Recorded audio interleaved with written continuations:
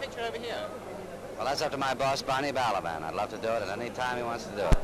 How long are you going to stay with us? You going to make a film here? Uh, possibly I might make a film. I haven't decided yet.